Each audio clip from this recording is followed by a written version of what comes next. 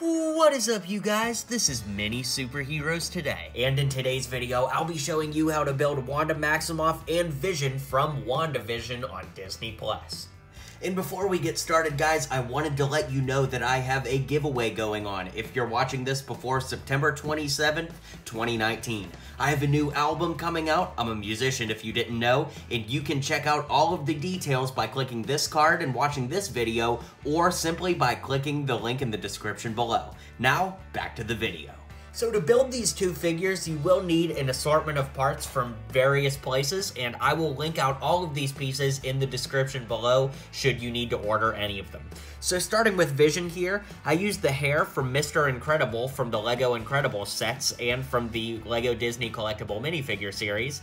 The face is from Newt Scamander from the LEGO Harry Potter Collectible minifigure series. I really think that that head and hair combo looks a lot like Paul Bettany in real life, who of course is the actor that plays Vision.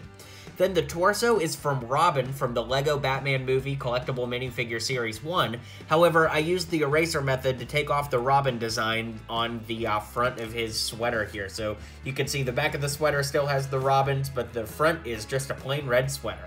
Then moving down, I just used some dark brown legs to round out this figure. Now moving over to Wanda Maximoff, I used this long brown hair, which I'm not 100% sure where that came from, but I'm sure you guys in the comments can let me know. Then, of course, the face and the legs, which are hard to see, but you can see that there's a little black skirt with some black feet there. The face and the legs are from Scarlet Witch from the LEGO Age of Ultron line of sets. And then, of course, the torso and skirt are from Minnie Mouse from the LEGO Disney Castle, and the arms came from Hyperion from the LEGO Marvel series of sets. So, drop a comment below, let me know what you think of these figures, and be sure to drop some comments letting me know who you'd like to see in future videos here on my channel.